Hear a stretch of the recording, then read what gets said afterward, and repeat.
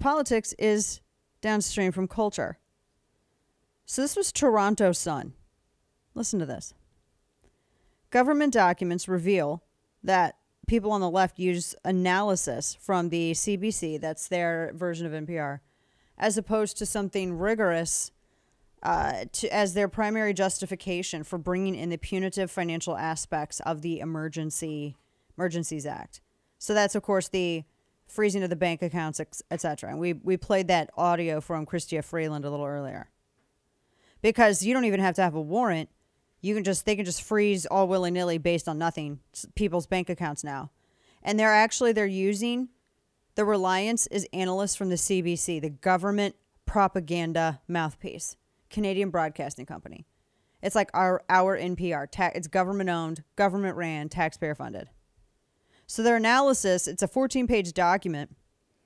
They apparently tabled it in their House of Commons Wednesday.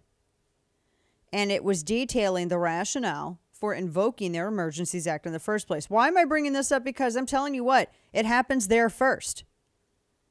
And if it's successful, expect it to happen here.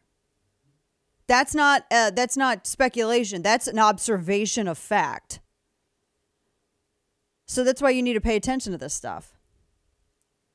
So they tabled this thing in House of Commons Wednesday, and it's this 14 page look at what is the rationale for invoking the Emergencies Act in Canada in the first place. So the deputy PM, she's under a, a Castro McBlackface. They said that she was saying that the banks were already complying with the government's orders, and on order of the government, they'll freeze people's accounts. Now, here in the United States, if you want to do that to somebody's account, Ken, what do you got to do? You got to go get a warrant. You got to get a warranty McWarrant. Everything's Mick today. I don't know why but you got to go get a warrant. Not in Canada, because see, the Emergencies Act gives the Prime Minister, Canadian Castro, up there special powers. And the thing is, is that it does not only apply to truckers with rigs.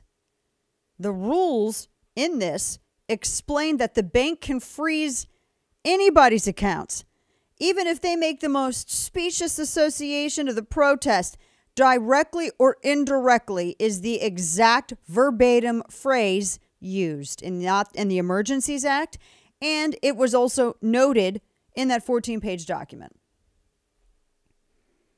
Yeah, directly or indirectly. Now, what does that sound like, Kane, to you? If you when you hear this, I'm just asking, what do you think that sounds like?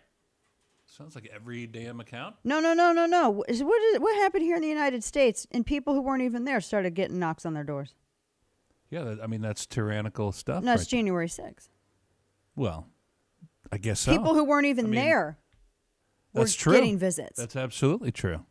I know more people than I can count on both of my hands that weren't even in D.C. And they got visits. It's egregious government overreach. Exactly.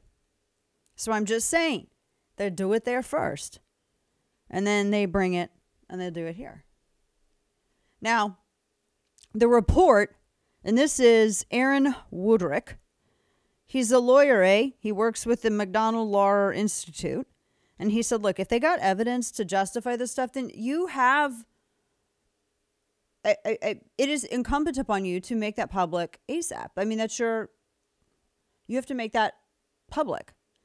And he says if they if the Trudeau government has this evidence, like intel reports, credible national security threats, you know, you they have to make it very clear publicly. But clearly they don't, just like they didn't really with with January 6th. They don't have anything. So they just they literally relied on the CBC for their as the source for their analysis. That's what this report says. It's this is where again politics is downstream from culture. The media made it true, so the government decided to act like that. And I mean, really, the government wanted the media to make it true. Let's be real about it.